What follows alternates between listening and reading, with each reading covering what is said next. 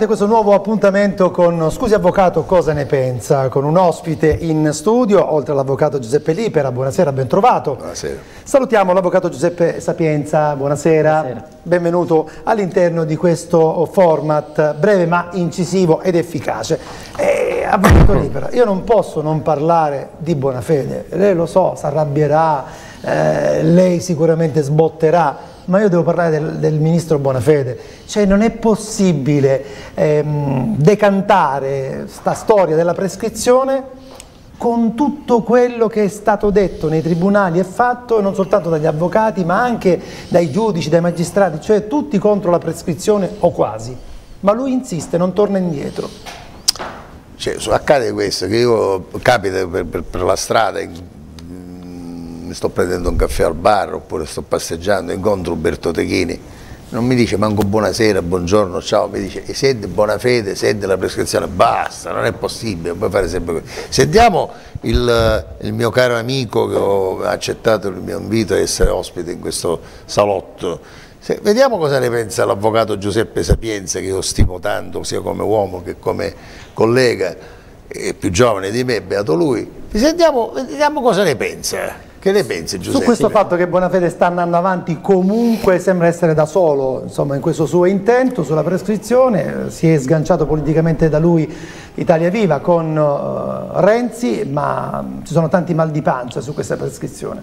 Sì, Avvocato. Grazie, innanzitutto ringrazio l'avvocato Giuseppe Lipera, ringrazio Umberto De Ghini per questa opportunità e ehm, al tempo stesso devo dire che eh, l'opinione pubblica oggi è vero parla quotidianamente di eh, questo tema. Così... Stai dando ragione a Techini. Sì, sì. parla quotidianamente di questo tema così caldo che è quello della prescrizione. Cosa succede? Che ehm, il ministro Bonafede ehm, ha voluto effettuare questa riforma qui sulla prescrizione, eh, ricordiamo a tutti che eh, dall'1 gennaio del 2020 è entrata questa eh, riforma la prescrizione non è altro che una causa eh, di eh, estinzione del reato. Ora bisogna vedere poi, noi siamo degli operatori del diritto e quindi magari abbiamo un po' quello che è il polso della situazione. Il vero polso. Il vero polso della situazione, dice giustamente l'avvocato Ripera, ma ovviamente il cittadino ce l'ha, questo è tutto da vedere perché spesso le notizie vengono a essere veicolate da tutta quanta una serie di organi di informazione e eh, al tempo stesso c'è da dire che eh, le notizie partono da alcuni eh, soggetti politici, deputati, ehm, si parla di parlamentari, di deputati, di senatori e in particolare qui eh, questa è una riforma che ha voluto il Ministro di Grazia e Giustizia, il Ministro Bonafede. Ministro Bonafede che se da una parte ha voluto questa riforma sulla prescrizione, al tempo stesso oggi eh, non riesce più a, riesce più a um, andare indietro, a tornare indietro e quindi si intestardisce verso quello che è un obiettivo pur non avendo quello che è il consenso da parte eh, non solo de degli altri eh, parlamentari, ma anche del popolo, perché ricordiamo a tutti quanti che comunque il Ministro di Grazia e Giustizia dovrebbe essere l'espressione eh, più alta di, eh, di, quelle appunto che sono istanze di giustizia e quindi proprio per eh, rappresentare eh, la nostra giustizia abbiamo noi il Ministro di Grazia e Giustizia, ma eh, se altri parlamentari mh, non sono assolutamente d'accordo, oggi ricordava eh, Umberto Teghini che ehm, c'è Renzi con Italia Viva che eh, assolutamente eh, ha preso un'altra linea in merito alla prescrizione, bisogna andare a capire se poi si tratta di una vera e propria presa di posizione da parte del Ministro sulla prescrizione o se invece è un'idea ehm, che riesce ad essere ehm, giusta e che quindi condivisa da altri parlamentari, ma soprattutto condivisa dal popolo. È un'idea malsana perché è un'idea contro natura. Se fanno una legge dice da domani i parlamentari fanno una legge, il lunedì, il mercoledì e il sabato pomeriggio non si mangia, per legge, mettila così fanno la legge, ma si può fare una legge del genere contro natura? Assolutamente, Assolutamente no. Ora, la prescrizione cos'è? Che il decorso del tempo fa venire meno la pretesa punitiva dello Stato. Ovviamente per un omicidio non ce n'è prescrizione, ma se a un parlamentare dicono cornuto per strada e, e si individua colui che ha detto sta parolaccia eh, ingiuriosa, diffamatoria nei confronti di questo parlamentare. Lo stesso parlamentare dopo un paio d'anni lo perdonerà, questo mascalzone che ha usato dirgli, di dirgli cornuto. Avete visto il Festival di Sanremo? Sì, qualcosa si, si sono, si sono eh, rivisti dopo tanti anni, tanti, tanti 40 pare, insieme eh, il gruppo di, eh, dei ricchi e poveri che lo diciamo per i più giovani, un tempo erano in quattro. Erano in quattro, poi due uomini hanno, e due donne. Lasciamo stare il motivo, non facciamo pettegolezzi, poi hanno litigato. Le storie di, di sesso, dai, ah, eh, sem sempre giornalisti, hanno litigato fra di loro e la, la biondina se n'è andata per i fatti suoi e gli altri sono rimasti insieme. Dopo 40 anni sono riapparsi insieme, si sono riappacificati. Quindi nella natura, nella natura dell'uomo almeno l'uomo normale, poi c'è l'uomo che, che, che, si perdona, che non si ha più odio, non si ha più pretesa punitiva. Questo è, come si può dire, l'Italia, diciamo, come alcuni citano altri stati, l'Italia non deve essere seconda a nessuno, l'Italia era e deve rimanere la culla del diritto, ma con queste norme eh, diventa il Sud America quello più depresso, quello più eh, veramente che non... Ma come finirà? Ah, questo lo sa il Padre Eterno come finirà. Penso che noi avvocati, Giuseppe eh, Sapienza me lo conferma, penso che lotteremo con tutto noi stessi, ma non nell'interesse nostro, questo che la gente deve capire, giustizia. si è permesso qualcuno di, di definirci complici, sì. imbroglioncelli, e poi noi siamo secondo buona fede, secondo buona fede. Alcuni anni fa, un anno fa, due anni fa, ci, ci chiamò proprio eh, quando si iniziò a parlare di, della prescrizione, azzecca Garbugli. Te lo ricordi, no? Ci ha voluto offendere, azzecca Garbugli, come se lui fosse ingegnere! Come se lui fosse a, eh, agronomo. Pare che abbia il titolo di avvocato, ma a questo punto, per quando io lo sento parlare, avrà soltanto il titolo di avvocato. Forse faceva, come dicono in molti, leggo sui giornali, eh, scritto dai tuoi colleghi, faceva il disc jockey, va bene. L'animatore. Ecco, l'animatore, no, il disc jockey, l'animatore è l'altro, l'altro, l'altro dei 5 Stelle. Beh, di Battista mi pare. Di Battista, Vabbè. Nelle navi faceva questa attività. Quindi, Quindi vedi, vedi, riesce a farmi arrabbiare, non mi parlare più di prescrizione perché mi, mi, mi, mi la arrabbiare. Allora, la maggiore età, parliamo di maggiore età perché non ne parla più nessuno. Un tempo la maggiore età arrivava a 21 anni e c'era una grande attesa. A 21 anni si diventava maggiorenni. Si sì. diventava maggiorenni. Dal 6 marzo 1975 eh, invece da 21 si è passati a 18 anni, quindi si sono guadagnati 3 anni sulla maggiore età. Eh, questo ha giovato, non ha giovato, secondo il suo punto di vista? Partiamo dall'avvocato Sapienza. Pensi, Giuseppe?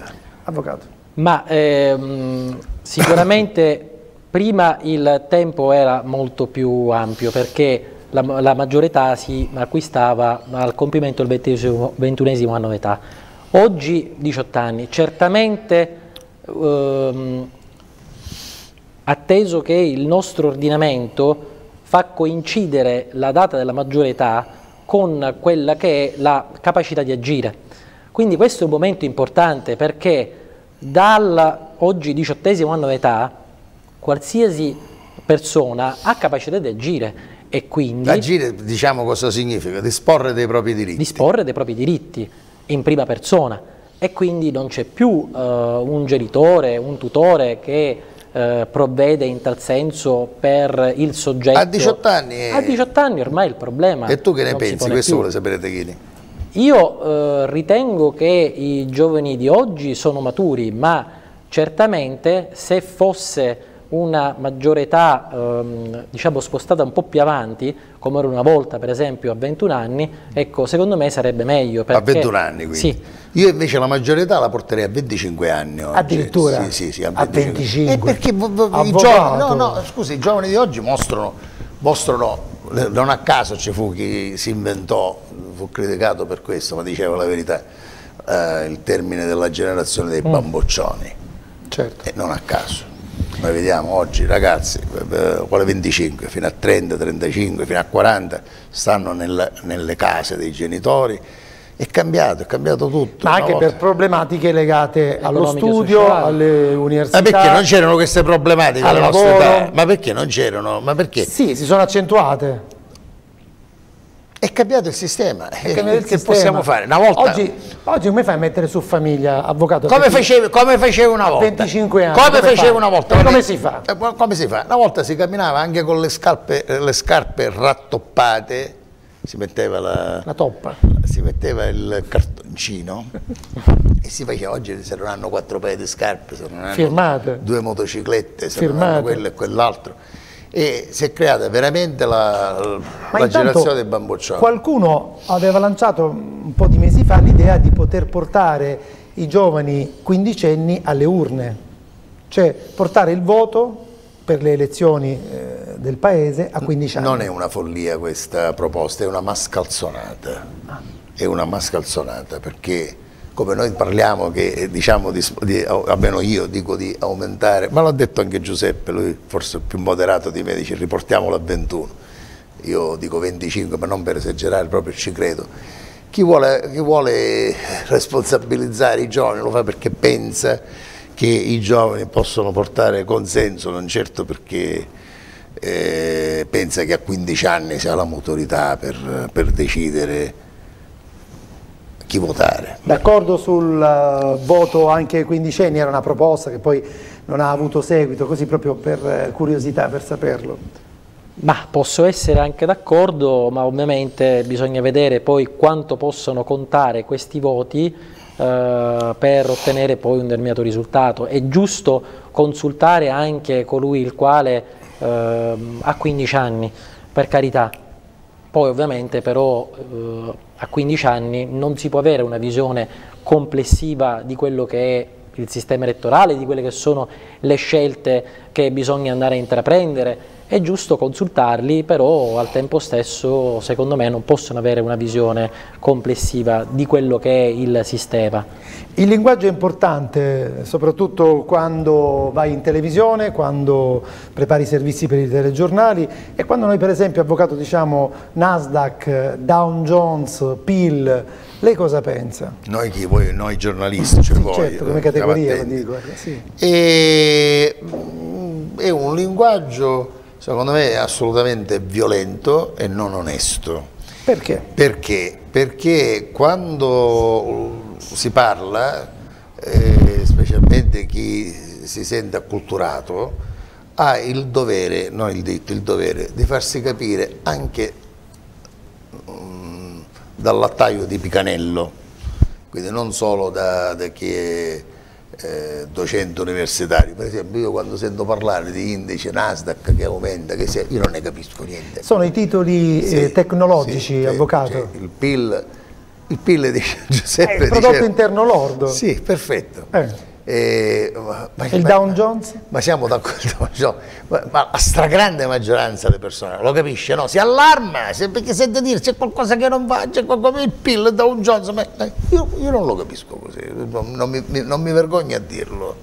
Quindi hanno colpe questi giornalisti incredibili. Sentiamo l'avvocato Sapienza. incriminati se, con la prescrizione. Poi, ma cambia anche il linguaggio, cambiano i tempi, da un giorno. Giuseppe, Pil, che ne pensi? Sicuramente cambiano i tempi e cambia il linguaggio. Eh, probabilmente tutta una serie di acronimi eh, sono magari molto più vicini a quello che è il lessico utilizzato dai giovani perché i giovani si muovono e interagiscono in una maniera molto più veloce rispetto agli altri, quindi magari eh, dire, ci sono dei giovani che sono in condizioni di poter comprendere, però poi al tempo stesso riconosco che non tutta la popolazione è in condizione di poter comprendere appieno cosa si intende per PIL o cosa si intende per Dow Jones e Nasdaq. Quindi generazioni molto veloci eh, che apprendono anche velocemente e che magari si fanno anche conquistare da queste, questi acronimi, queste sigle, ma al tempo stesso la maggior parte degli italiani, secondo me, non è in condizione di poter Ma crea ansia, perché quando il giornalista ti dice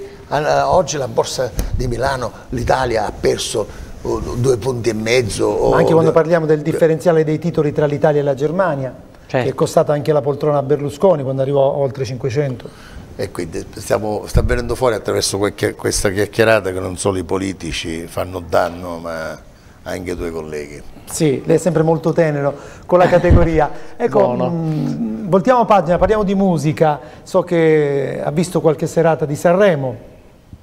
C'è una canzone che l'ha colpita in particolare?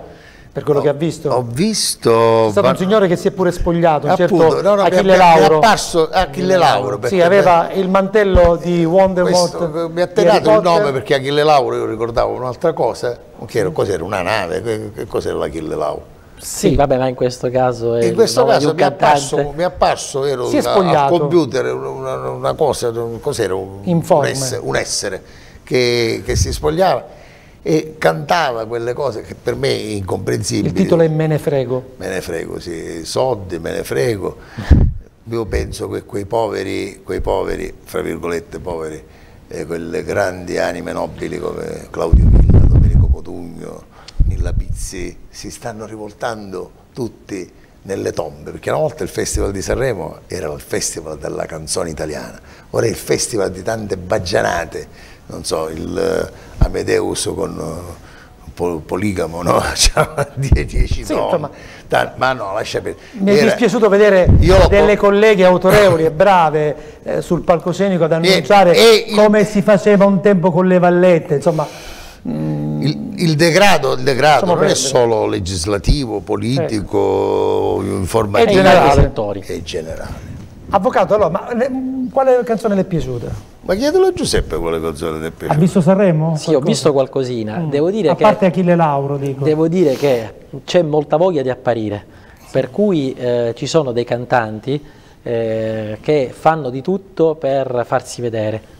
Tal proposito credo che Achille Lauro proprio sia... Ha fatto un'operazione di marketing, credo. È normale. Che tutti ma gliela fanno fare! Ma, ma, è anche ma... consentita oh, dai, consentita, dai, fanno fare. Ma pensiamo a vent'anni fa qualcuno che si spogliasse sul palco dell'Ariston in diretta tv eh, per rimanere con una tutina, eh, tra l'altro non credo abbia fatto questa gran figura, anche se era firmata da Gucci. Ecco, io penso che tanti anni fa, non, non diciamo quanti perché sennò si rivelo la mia vera identità, persone artisti come Gianni Morandi, Rita Pavone, si sono costruiti la loro fama attraverso le belle canzoni e le loro belle interpretazioni, non attraverso lo spogliarello, la parolaccia. Ma Sanremo è lo specchio dell'Italia di oggi?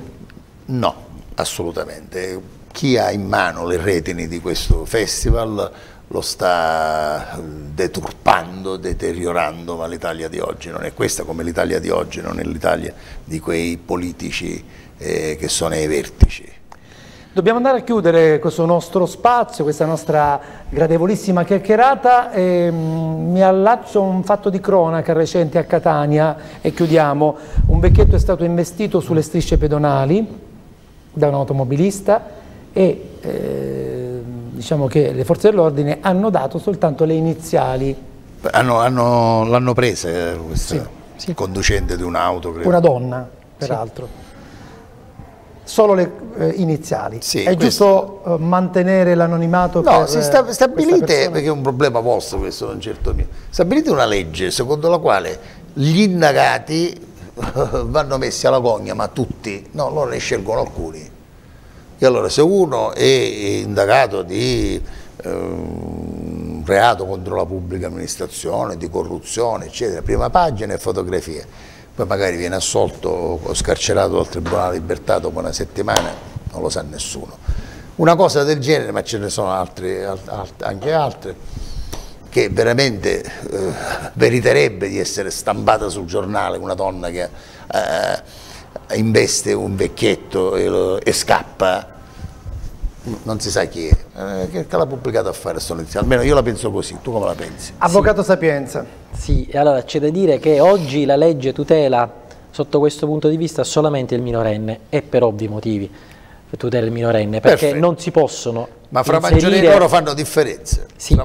il problema è che poi quanto ai maggiorenni c'è una differenza e ovviamente questa disparità non va bene esatto. perché ci sono delle persone che vengono a essere eh, il cui nome viene a essere pubblicato sul giornale e quindi poi tutti quanti vengono a sapere cosa ha fatto e di altri solamente legge questo non va bene e quindi è giusto da una parte proteggere i minorenni proprio perché comunque l'interesse lì è molto più alto al tempo stesso per i maggiorenni o si pubblica per tutti oppure non si pubblica per Bravissimo. nessuno. Quindi fate il mea culpa voi giornalisti. Come sempre, ormai insomma, lo so, sono condannato no, in questo uh, salotto con l'avvocato Giuseppe Lipera. Ehm, la città di Catania ha appena uh, festeggiato la sua santa patrona, cosa rimane di questa festa?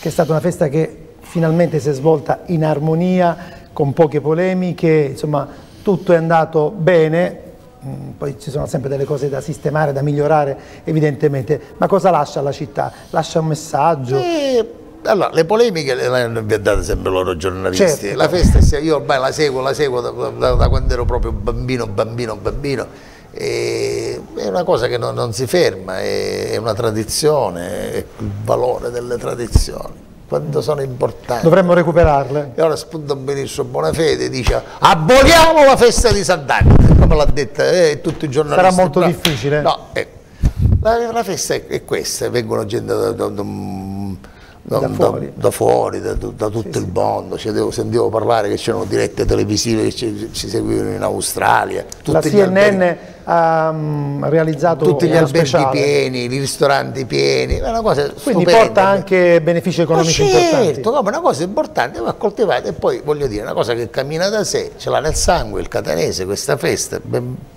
è bene che ci sia. Bene, grazie Avvocato Giuseppe Lipera. Eh, Avvocato Sapienza, grazie per grazie. il suo contributo, l'aspettiamo presto. Grazie. Anche a lei piace la musica, non le ho chiesto di Sanremo, sì, chi vincerà sì. Sanremo gliel'ho chiesto. No, un, un, suo pronostico, una sua previsione? No, ancora non siamo in condizione di poterlo fare, vedremo. Eh, ma secondo lei veramente vince la canzone a Sanremo da sempre, quella uh, più bella, quella che... No, per carità, ci sono tanti interessi. Esatto. Ma perché bravo, non me la chiedi a me chi vince Sanremo? Chiedimela a me. Ribaltiamo la domanda. Eh. dall'avvocato Sapienza all'avvocato Libero. Chi vincerà a Sanremo? Mi avvalgo della facoltà di non rispondere. Un'altra volta. Sì, sì. Finisce da qui l'appuntamento con Scusi Avvocato, cosa ne pensa? Grazie per essere stati con noi, appuntamento alla prossima settimana.